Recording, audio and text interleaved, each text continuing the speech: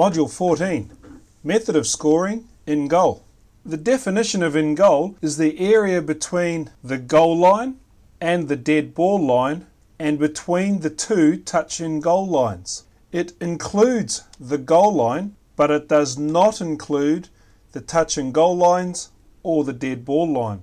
In goal is the part of the ground where the ball may be grounded by players from either team. When attacking players are first to ground the ball in the opponent's in goal, the attacking players score a try. When defending players are first to ground the ball in end goal, the defending players make a touchdown. There are two ways to ground the ball. Number one, carrying the ball. Where a player is carrying the ball and he touches the ground with the ball, it must be in either the field of play or in end goal. Number two, if the player is not carrying the ball and he presses down on the ball with his hand or hands, arm or arms, body between waist and neck inclusive. Now, this person can be out. Scoring a try. The base of the goalpost padding are part of in goal. If a player places the ball here, he scores a try. On the goal line is part of in goal, and that's a try. Where a ruck is formed and the ball is on the goal line,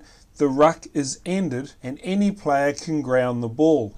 If it's an attacking player, it's a try. Where a player is tackled short of the line and he can reach out and place the ball in one movement on the goal line, that's a try. And where a player is in touch or a touch in goal and not carrying the ball, they can reach out and ground the ball and score a try. Remembering, of course, that if a defending player performs any of those same actions, it results in a touchdown. Ball made dead, touch in goal or held up. If an attacking team puts the ball into in goal, a 22 metre dropout is awarded. If it is kicked and goes dead, the defending team also have the option of a scrum where the kick was taken from. If a defending team puts the ball into in goal and the ball is made dead, touch in goal or held up, it's a 5 metre scrum attacker's ball. Notes A scrum can take place no closer than 5 metres from the goal line and 5 metres from the touchline. When a ruck or maul goes into in goal, the ruck or maul ends. The method of scoring is as follows. A try or a penalty try is worth 5 points. A conversion is worth 2 points. A penalty goal is worth 3 points. And a drop goal is worth 3 points. A goal is where a player scores a goal